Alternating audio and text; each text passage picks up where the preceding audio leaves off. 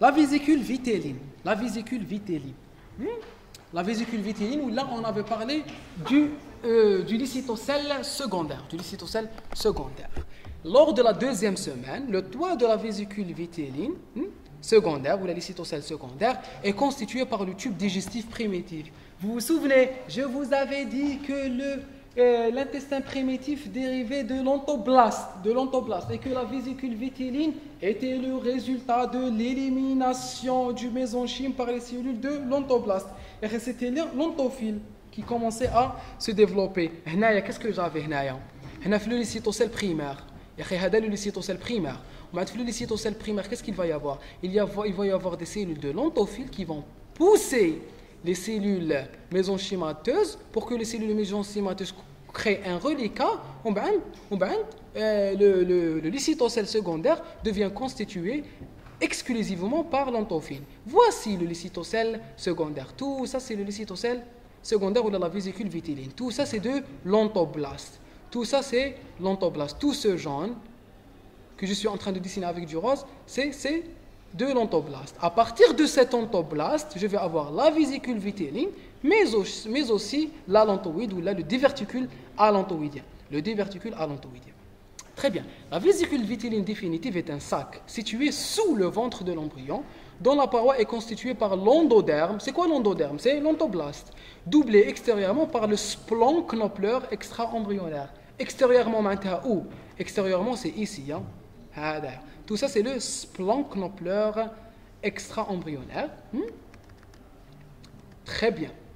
Communiquant avec le tube digestif par le canal vitellin. C'est ça le canal vitellin et c'est ça le tube digestif. C'est ça l'intestin primitif. C'est ça l'intestin primitif. Très bien. Très bien disparition de la vésicule vitelline, lors de la délimitation de l'embryon, la vésicule vitelline va être comprimée. Va être comprimée au dépend de quoi? De la cavité amniotique. De la cavité amniotique, la cavité amniotique va pousser. La cavité amniotique va pousser et comprimer la vésicule vitelline. Le canal vitellin hmm, devient de plus en plus étroit au fur et à mesure que le développement précoce jusqu'à s'oblitérer. Il va se fermer. Et la vésicule vitelline va se retrouver dans la partie la plus externe. Dans la partie la plus externe. Très bien. Rôle de la vésicule vitelline maintenant. La vésicule vitelline joue un rôle dans la mise en place des éléments vasculaires. Je vous avais parlé des canaux de Wolf et Pander tout à l'heure. Hmm? Au 28e jour, au niveau des cellules mésenchymateuses qui entourent la vésicule vitelline apparaissent des îlots de Wolf et Ponder.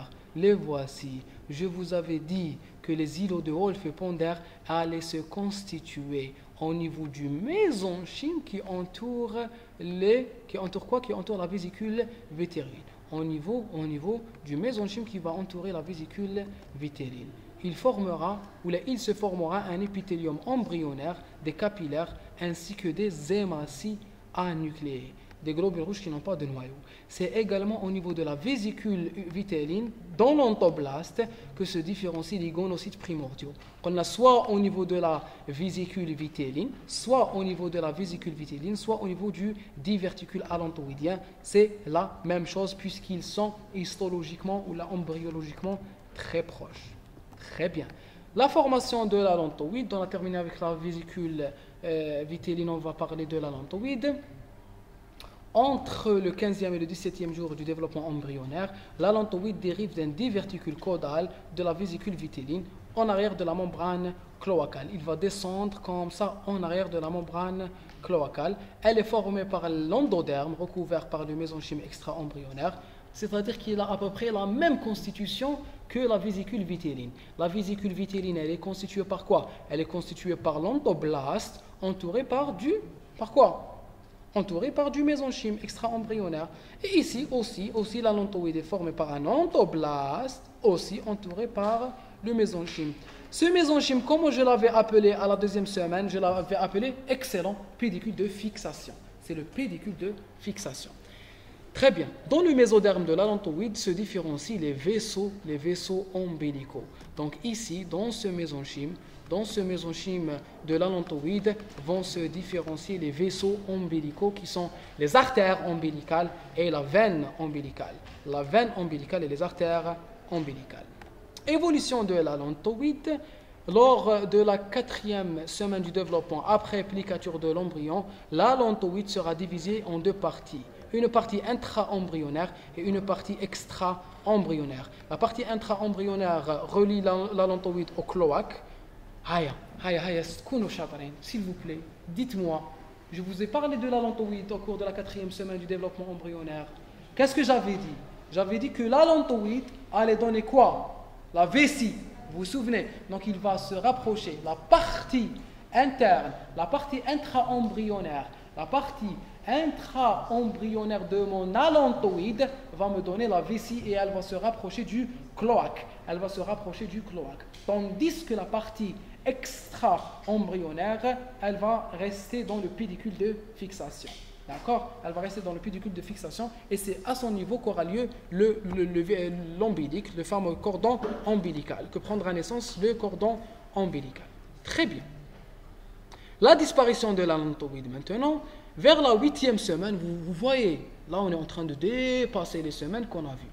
Vers la huitième semaine, le pédicule vitellin et la vésicule vitéline sont inclus dans le cordon ombilical où ils finiront par s'oblitérer et donnent un cordon fibreux. La vésicule vitéline et l'allantoïde sont tellement comprimés, l'embryon a tellement augmenté de taille, la cavité amniotique est devenue tellement importante qu'elle comprime, comprime, comprime d'une façon importante l'allantoïde et la vésicule vitéline jusqu'à ce qu'elles deviennent fibreuses jusqu'à ce qu'elles deviennent fibreuses et elles formeront le cordon ombilical. Le cordon ombilical qui contient aussi une veine ombilicale et deux artères ombilicales qui, sont dérivées de quoi? Qui ont, dérivé, du mésenchyme qui entourait, qui entourait le diverticule allantoïdien.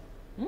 D'accord? Qui dérive du mésenchyme qui entourait le, le, le, le diverticule allantoïdien. Donc j'ai parlé de deux mésenchymes extra-embryonnaires. J'ai parlé du mésenchyme qui entourait la vésicule vitéline, qui entourait la vésicule vitéline. Qu'est-ce qu'il m'avait donné? Il m'avait donné les, les, cellules, les gonocytes primordiaux, les gonocytes primordiaux, plus les hématies. Les hématies au niveau des îlots de Wolf et Ponder au niveau des îlots de Wolf et Ponder. Maintenant, je suis en train de parler du mésenchyme qui entoure le diverticule allantoïdien. Qu'est-ce qu'il va me donner? Il va me donner la veine ombilicale et les deux artères ombilicales. Il va me donner la veine ombilicale et les deux artères ombilicales, plus, si vous voulez, si vous voulez, il va me donner lui-même les gonocytes primordiaux, si on considère que les gonocytes primordiaux dérivent du diverticule allantoïdien et non pas de la vésicule vitéline. Ils n'ont pas de la vésicule vitéline. Est-ce que vous avez compris? Très bien. On continue. Rôle de l'allantoïde, enfin. L'allantoïde ne joue aucun rôle, ni dans la nutrition, ni dans l'excrétion. Sa partie intra-embryonnaire donnera la vessie et l'urètre. La vessie et l'urètre, quand on comme urètre, non, c'est l'urètre. L'urètre, c'est la partie qui vient après la vessie. C'est la partie qui est à l'intérieur de la verge et à l'intérieur, euh, c'est la partie qui élimine les urines en dehors de l'organisme. Très bien. Les vaisseaux allantoïdiens vont persister et formeront les vaisseaux ombilicaux. C'est quoi les vaisseaux ombilicaux? C'est la veine plus, plus les deux artères ombilicales. Le placenta. On va voir maintenant le placenta. On va voir le